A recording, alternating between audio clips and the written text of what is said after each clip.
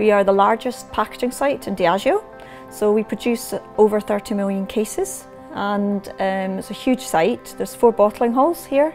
We are 400 metres from the River Leven here, so that is our local watercourse. So it's actually paramount that we are um, watertight on site. We started looking at using the site's infrastructures and we have got man-made containment areas. In the event of having uh, any spillage, that we would use these areas to contain the spill.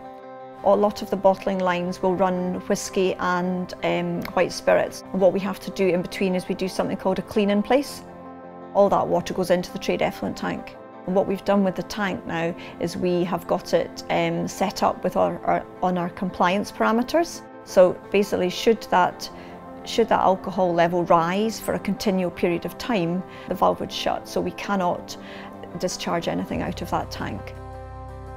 We were um, commended for the Hydro Nation Award. Previously we've applied twice for the award and this time we were successful, so very proud to receive that.